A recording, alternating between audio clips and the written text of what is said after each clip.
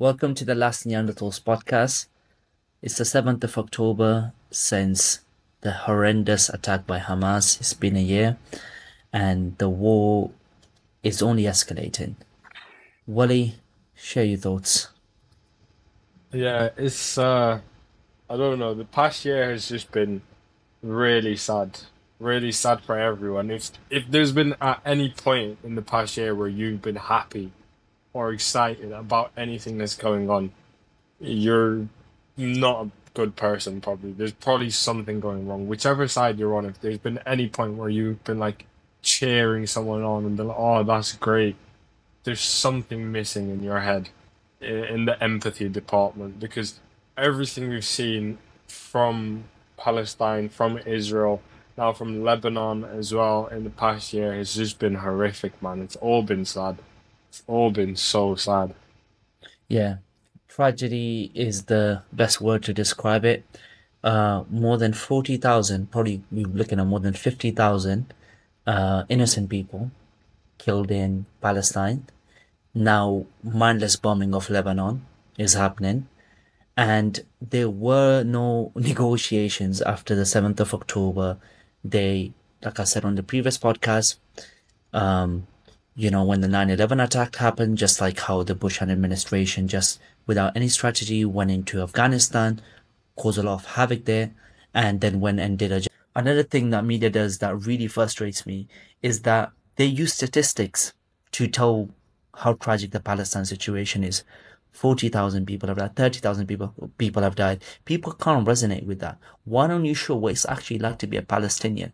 What a Palestinian kid goes through, what a Palestinian mother goes through, how she's a Palestinian mother is no different to the mother in that lives in America or that lives in the UK or anywhere in the world. And if her kids were beheaded because you dropped a bomb on them, right? That how much how much that would ruin her life. And that could have been you.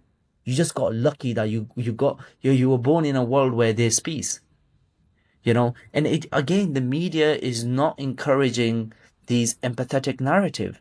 They have got these disgusting narratives going on where you know if the muslims or the brown person does an act of terror that's terrorism. But when you know an american does it or an israeli does it or netanyahu does it you know then it's uh it's, it's his right to defend himself even though if it kills 40,000 innocent people. It is absurd man it is absolutely yeah. fucking disgusting.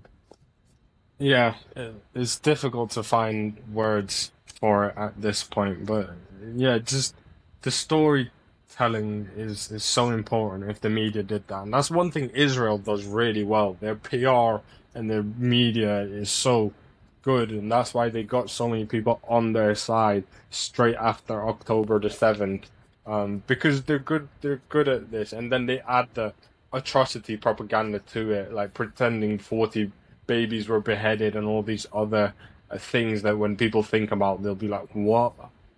That's yeah. just complete evil. If someone can do that, they're uh, the worst person in the world. Whereas when the media comes to the Palestinian side, they'll like downplay things and they'll be like, oh, maybe this happened, maybe this doesn't happen, or the Palestinian Authority says, or the Hamas run health ministry says this Whereas with the 40 beheaded babies, they just ran with it. No proof, yeah. no no nothing, just go with it. Oh, yeah. Palestinian people die, get killed. Oh, Hamas says this many people are killed. Like it, at every point, it's diminishing the Palestinian experience. The 200 or so people who were killed uh, in 2023 prior to October 7, their lives don't matter at all either. They were just completely ignored. Apparently, there was a ceasefire when those 200 people were killed apparently there was a ceasefire before October 7th um, when those people were killed. Apparently there was a ceasefire when 200 people were murdered at the peaceful uh, march uh, of return in Palestine, where 200 people were marching peacefully towards the, the border uh, and they were shot by Israeli IDF. Um, apparently that was a ceasefire as well.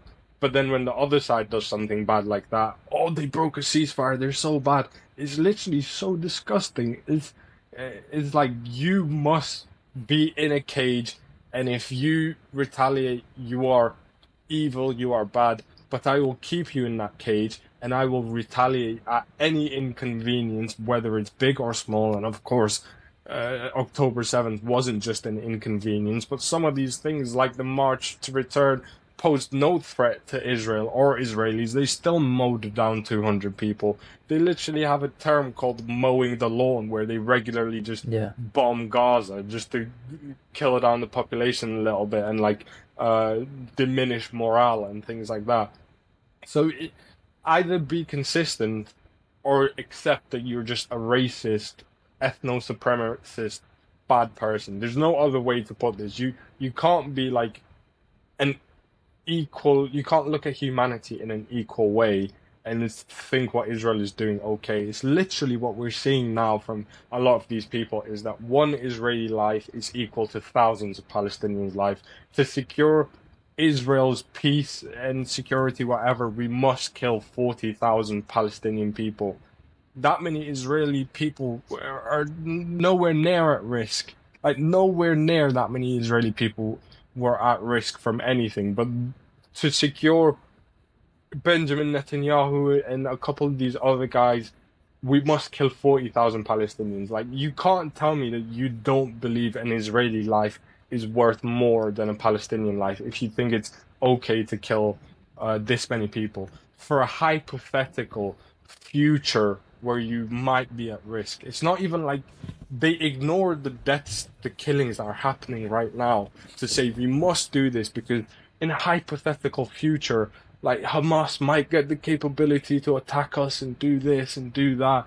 And let's just forget that America, the biggest superpower in the world, is supporting us, and the UK, one of the biggest superpower in the world, is supporting us, and we are such an advanced country. But Hamas, with their uh, rockets made from like sugar and cookies and stuff, they're gonna kill us all if we don't do this. So we must kill 50,000 people. We must kill 20,000 kids to protect ourselves. Yeah. And they're gonna grow up to be Hamas anyways, is is what they say. Yeah, That's how they it's like- justify killing innocent little babies. That is Yeah. disgusting. When ma- the majority of Palestinians they didn't agree with the with the reign of Hamas on them. What, what did Bilal say that only seven percent voted for them? Yeah, Um, well, I don't know the I don't- exact I don't math. remember. Well, at, at, at the time, the, the the nuance is at, at the time around forty four percent of the population voted, or forty four percent of the vote went towards Hamas. I don't know what percentage of the population actually voted at the time, but that was in two thousand and five or six, and over fifty percent of the population in Gaza is under the age of eighteen and at that time, anyone who was under 18 in 2005 wouldn't have been able to vote as well. So, anyone in Gaza who is below the age of 36 cannot have voted for Hamas, and that is the overwhelming majority of the population in Gaza. Furthermore, at the time, anyone who's over 36 right now, 36 years of age, um, only 44% of those people who voted who knows how many voted? I'm not sure. 44% of those people, that small minority of people, voted for Hamas. So right now it is probably close to like 10% of people alive, maybe even less than that, actually voted for Hamas. And Yeah. you see many like mainstream um people in America especially justifying what happened to Palestinians by saying, Well, they voted Hamas in. Shut up. You're so stupid. These I can't believe like these extremists like that Bill Maher guy or however you pronounce his name are just allowed to go on TV and say these ridiculous things over and over. If like an anti-Semitic person was on TV like that and constantly saying these things, they would instantly be taken off TV. But when he is clearly Islamophobic and he says it himself, he, he constantly makes fun at Muslims and he constantly um, picks at Islam as well.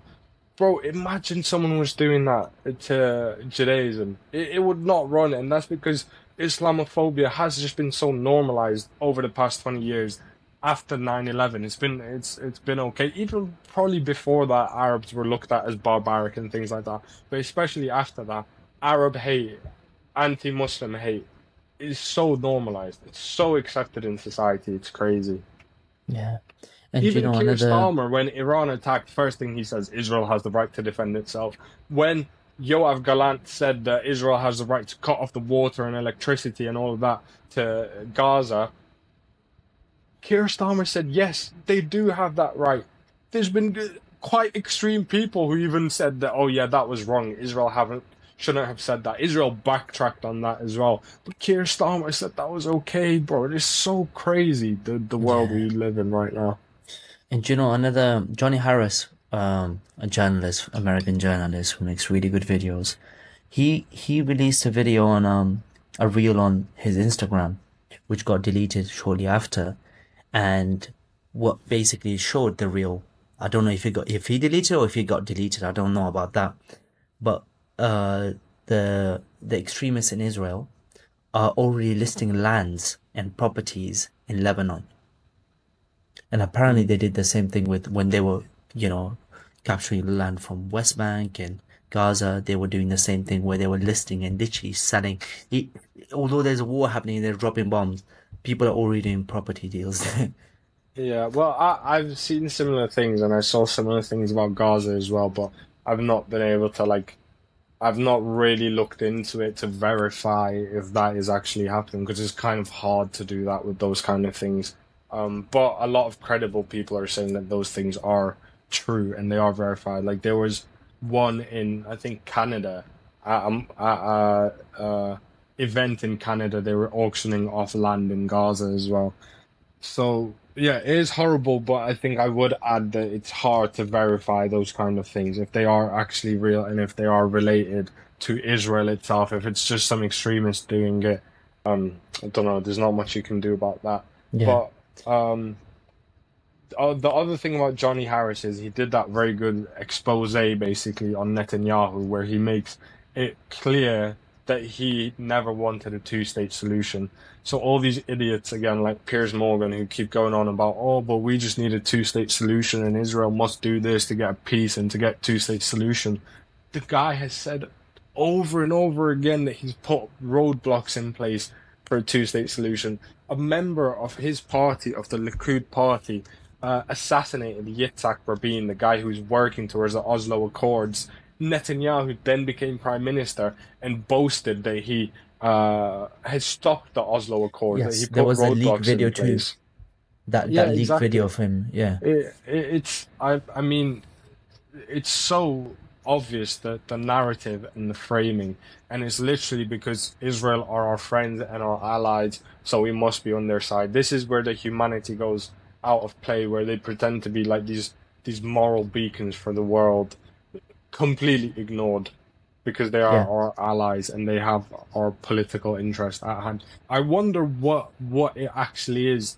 Like, is there some is there like an incredibly mon- incredible monetary gain they get from it? Is it some sort of power? Is it just embedded in the system to support Israel in this way? Is it, as they say, to fight against Iran? What makes them so blindly supportive of Israel? Where where any little attack against Israel, they all come out. Everyone does a press conference. We must support Israel. But forty thousand Palestinian kids dead. Oh yeah, we're trying to get a ceasefire, guys. We're working on it. There, there must be a ceasefire. We must do Yeah. something. And then they're selling Oh, them uh, diplomatic is, you know, we need diplomatic resolutions, but, you know, continues to then bomb another country. Um, it- clearly they're not doing that. Um, I think it seems quite obvious now that they just want more land. We just gotta say how it is. That's what their actions show. You know, it's like we can't just listen to words. Um, and then you look at Trump and Elon, how they flipped. Uh, initially, uh, you know, I remember, the, I mean, Trump says all the time, oh, if I was in charge, Ukraine would have never happened. The, you know, the Palestine situation would have never happened. All of these things and the wrong is war. I'm going to end all wars. And now he's saying, oh, like he's, he's still against the Ukraine war. You know, he wants to end it when he's elected. But again, when it comes to Israel, we must fully support Israel. yeah, it's so weird, isn't it? Why so is this? weird. why is this such a bipartisan issue that in the UK, same support, no blind impunity completely for Israel, we must support them. In the US, exact same thing. Both parties blind support. We must support Israel. It's genuinely so weird. It is, uh, and this is what fuels the conspiracy theories as well, because it is Yeah. weird. There is no other issues like this where these guys just blindly support something, despite what the public want them to do and say. Like majority of the UK population and the US population want to see a ceasefire, yet these people keep uh, giving blind support to Israel, to Netanyahu, who has made it clear he does not want a ceasefire, and people in Israel are protesting against him because they think he does not want a ceasefire either, particularly the families of the people who are held hostage. They have been protesting against him from the very start because it's been very obvious to anyone who cares about the hostages that he does not want them back because bombing them, bombing where they are, is not a way to get them back. When Hamas offered uh, ceasefire deals, imagine the terrorists are the one offering to give the hostages back and you're saying no. Bro's making the terrorists look better than him.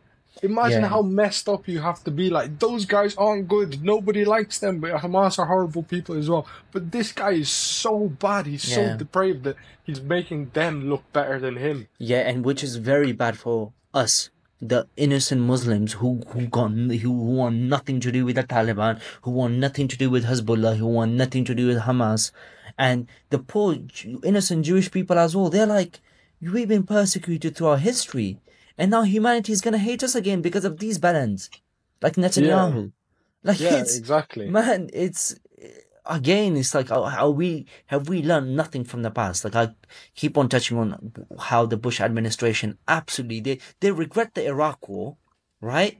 And then give it 10 years they're going to regret oh you know what happened in gaza. We should have never done that. We should have never supported it. But what your sorries mean nothing Yeah, they don't really Just- regret it. It's just because Julian Assange and people like that expose their war crimes. Now they have to pretend that they regret it because they want to continue to seem like the moral beacon of the world. Because for America, if they're no longer the good guys, their whole worldview is going to be shattered.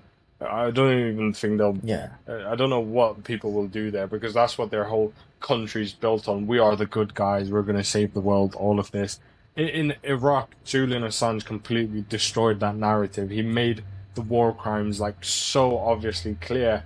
That's probably why Israel won't allow any journalists into Gaza, despite even people like Piers Morgan questioning that. Like, why would you not allow uh, journalists in? You can't say it's because of safety. There's been wars all throughout uh, history, modern history, and journalists have gone in. They've risked their own lives. That's what they're willing to do. It's part of their job description. But Israel wants to make the decision for them on that and say, no, don't do that, guys. Don't worry, we'll let you in at some later point. Just let us handle this for now. That's just not how journalism works. And um, hopefully, when the investigations happen, people will be able to see these crimes for themselves, unless Yeah. Israel can somehow how hinder that process as well. I'm currently listening to this book by Ryan Holiday, and he, you know how we said that there's it's good people against bad people, and there are good people everywhere and bad people everywhere in every country, and you know there's all good in us and bad in every individual. Um, he he he kind of does a similar thing, but he says with courageous and cowards, and it's so funny that you know when we look at the Be- Be- Ben Shapiro's and the beacons of free speech and Jordan Peterson, and they have spoken so much about the tragedies, and rightfully so, they should, against Jewish people that have happened throughout history. And you know, that it kind of gives them that, like, you know, like that sense of like that it feeds their ego when they're talking about Ukraine, how terrible that is, how Putin is a mad, crazy man. Why don't you hold your own people accountable? Right? Mm. By by own people, I mean your own government accountable. That's when bravery truly counts. You can't be just against one war and then turn a blind eye to another one. If you're going to be anti-war in one place, you have to be anti-war everywhere. I don't care if it's your people oppressing. I don't care who is oppressing and who is the oppressor, right? You have to be anti-war, and that's courage. That's courage. When your own when your, own government is doing horrible things and you speak up against it, that's truly courageous because you're you're putting your life on the line, right? It's easy to speak about the oppressions the uh, the other countries are committing, right? So this this this has exposed all of these so-called role models and so-called like preachers of peace and preachers of strength that they're all cowards, man. Or at least when it comes to that. So that Yeah. I, I, I it frustrates me now the the cowardice I've seen, man, and and and you know the that has led to a lot of evil. I think deep down, when people can't face fears, that's that's the beginning of fear, uh, of of evil and ignorance. Yeah. Like they Cowardice say and ignorance. weak men create tough times. And we're we're very firmly in the era of weak men at the moment. Yeah. Um, weak men are rewarded as well, like all these uh, shit talkers like Ben Shapiro, who just complain on the internet about things, um, who called for wars and called for people to be killed while sitting behind the screen. These kind of men um, are what what what drive us drive the world into what it is right now, especially the Middle East, where thousands of people are being killed and people like Ben Shapiro were cheering it on. Yeah. He did from the start. Jordan Peterson as well, saying give him hell.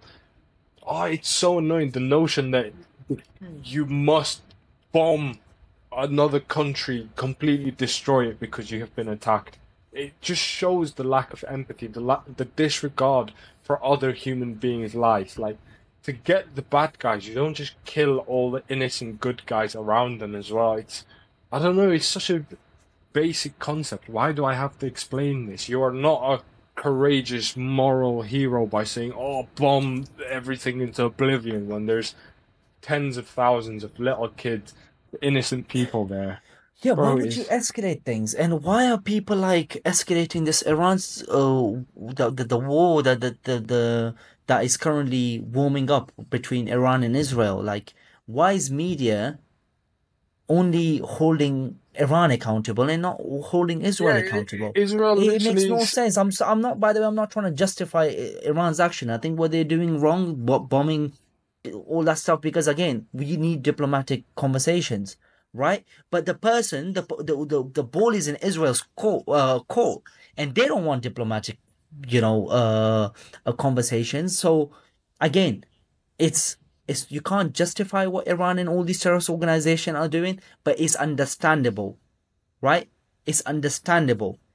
It's wrong. It's is wrong, but again, if you if you lived in an open prison and you had so much anger and hatred uh, in your in your heart rate and your whole family was bombed, I don't care who you are, you would wanna take revenge, and then you would go ahead and join a terrorist organization. So it's understandable. I'm not saying it's right, right? My sister, she was, uh, she almost died because of assassination attempt by the Taliban, right?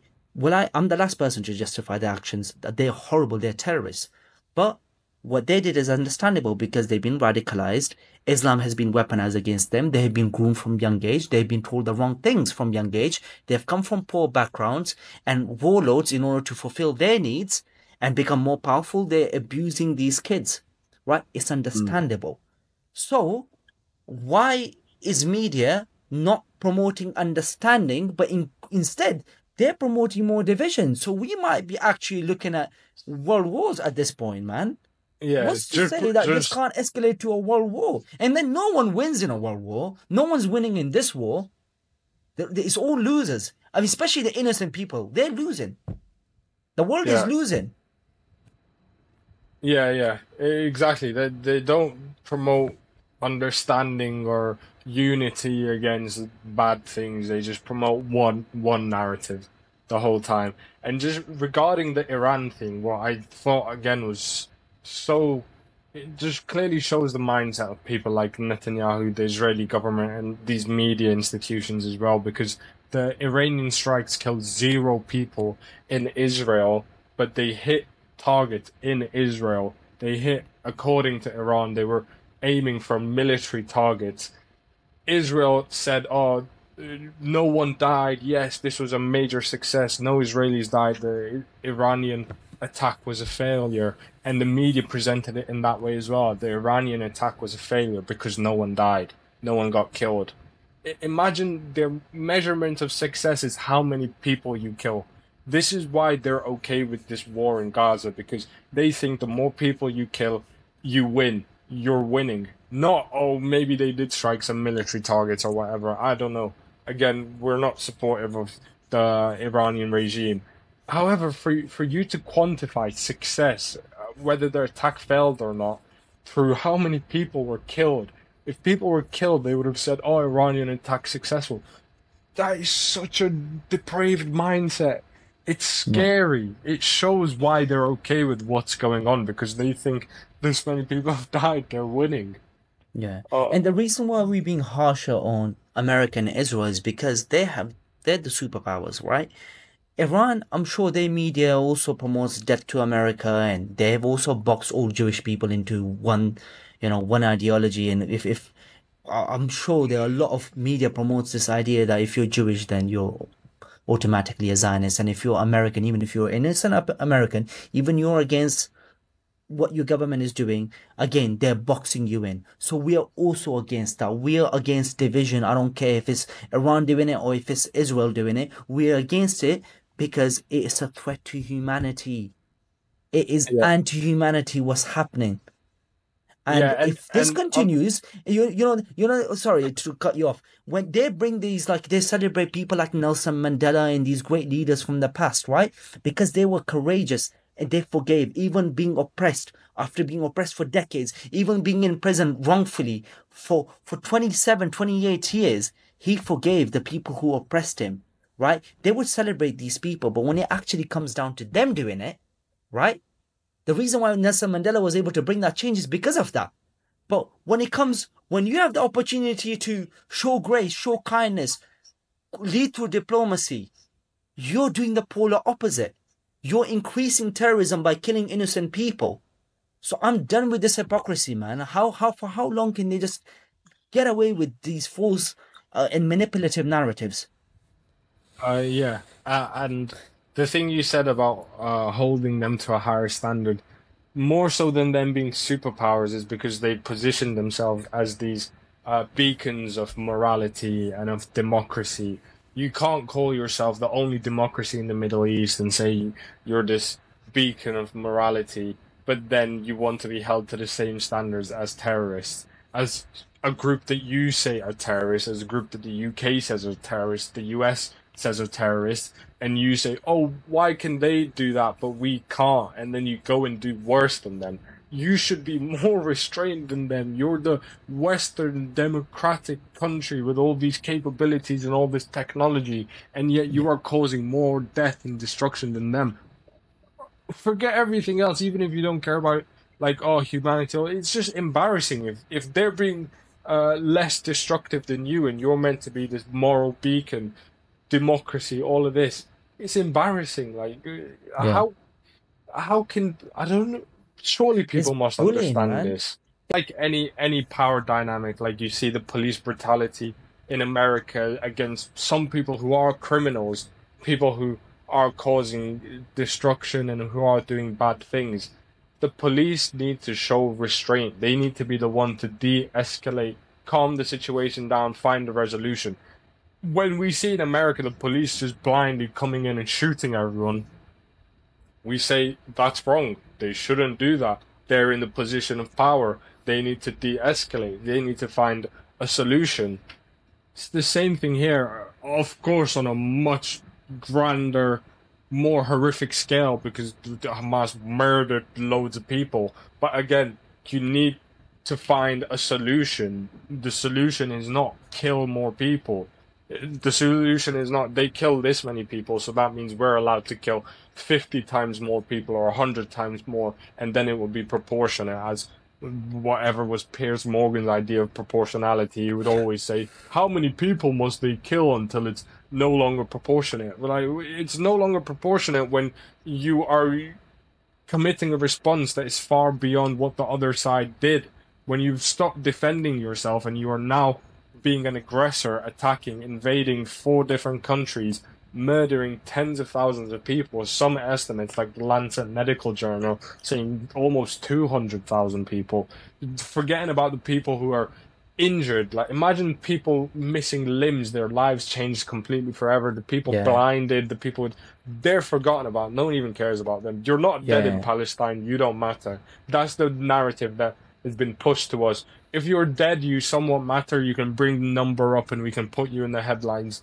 If you're a Palestinian and you're not dead, the Western world has told you Yeah. you don't matter. We don't If care you're if you're PTSD, injured you have trauma. Yeah, if- they don't care. if if you're depressed, if you have trauma, if you're disabled, eh, if you're disfigured, doesn't matter. We don't care. We'll promote equality and all of this. And please, uh, World Mental Health Days on Thursday. These things are incredibly important, by the way. But uh, in Palestine, oh, as long as you're alive, be happy. If you're missing your limbs, if you're missing your family members, your sister's dead, it's okay. You're alive. Keep going. Maybe Yeah. next week you won't be alive, and then your life will matter. Keep holding on. We'll work. We'll work for a ceasefire. We'll ask our mate Netanyahu. We'll we'll put a- a, word in. We'll send the aids, you know, parachutes in that might crush you, which I did. Yeah, that know. was crazy. We'll, we'll, we'll, we'll send some aid that way, the most dangerous way possible. Um, and yeah, we'll just keep feeding you lies. Um, we're gonna start attacking other countries because, you know, there might be hostages there when they're none, right? They, they don't even use, they can't even use that excuse anymore. Like you said, they're running out of excuses. And God knows what the solution is. I mean, the solutions always come back to the fundamental, which they say they're gonna do, but they're not doing, which is literally diplomacy. yeah, well, the solution is, is is evident, but they don't want Yeah, to pursue they that don't want it. solution. They That's don't the to issue. The solution, no, no, no group of people, no human beings are just inherently evil. This is such a racist idea that oh, the Arabs just want to attack people and they want to cause terror and evil and they want to spread this evil all throughout the world. No, that's not the case, bro. These people are caged up. They can't collect rainwater in their home Yeah. own homes. They get kicked out of their own homes. They're constantly being spied on. There's checkpoints everywhere. They're not allowed to work. There's no trade. Barely any water. Barely any food. Barely any electricity. They're not just violent for no reason.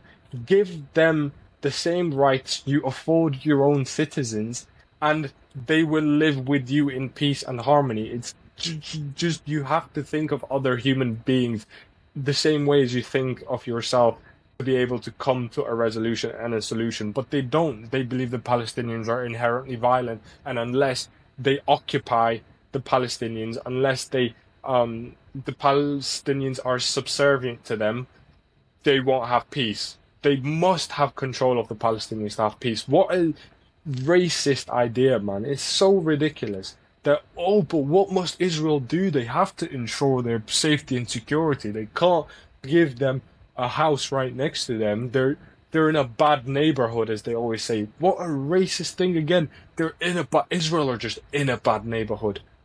Bro, it's so racist. It's so blatantly racist as well. They don't. The Arabs are just bad. Everyone around Israel is bad. Israel is the only good guy in that region. The country who has now, in the past 12 months, bombed five different countries are in a bad neighborhood.